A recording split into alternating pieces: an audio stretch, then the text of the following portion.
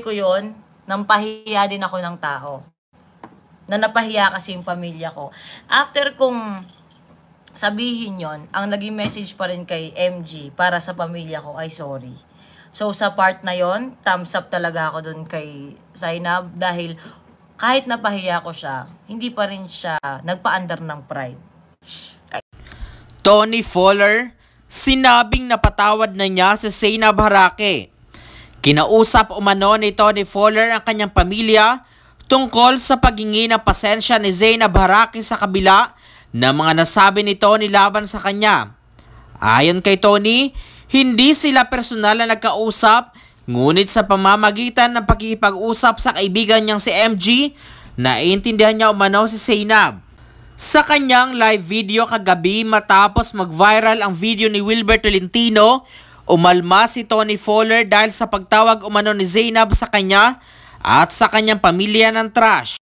Naibahagi niya din sa naunang video na humingi na ng pasensya si Zainab sa kanya ngunit hindi siya nakapagtimpi umano nang mapagtanto niyang nadamay ang Toro Fam. Ani ni Tony, dapat ay magkapatawaran na lang sila dahil pare-parehas lang din umano silang nagkakamali. Ayon pa kay Tony Fowler, kinausap niya ang Toro family kaugnay sa paghingi ng dispensa ni Seyna Baraki sa kanila. Sa kabila umano ng ginawang pagkanti ni Tony at pamamahiya niya kay Seyna Baraki sa live video niya kagabi ay hindi ito nagmataas. Kaya naman, ayon kay Tony Fowler, sino ba naman daw siya para hindi magpatawad ng taong nagpakumbaba?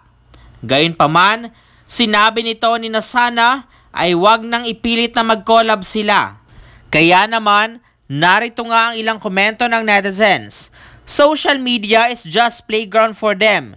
Yan nga ang platform nila para mapag-usapan at lalo dumami mga followers nila. They are there to entertain us. Kaya itawan na lang yan at huwag masyadong kadibdiban. Alam nyo, isa lang masasabi ko, kapag medyo laos, gumagawa ng kaaplastikan para sumikat silang mga vlogger. Tayo lang niloko ng mga yan. Kung si Zina nahimik, kasi marami nag-follow yung iba dyan mga plastic sila. Yumaman sa mga views natin. Pero tayo, naghihirap pa rin. Views habol ng mga social media influencer. Wala naman talaga perfect na tao. Kahit pa mag-best friend kayo, di may iwasan magsalita ka ng di maganda. Lalo pag minsan naiinis ka, ang importante, nagpakumbaba siya sa iyo at tinanggap niya mali niya. Bandang huli, sa ginawa ni Wilbert, siya maging masama sa lahat. Sana din na lang kasi siya nagsalita. Dahil ayon sa mga netizens, inilantad umano ni Wilbert Tolentino ang kanyang tunay na ugali. At imposible umanong may magtiwala pa sa kanyang mga kaibigan.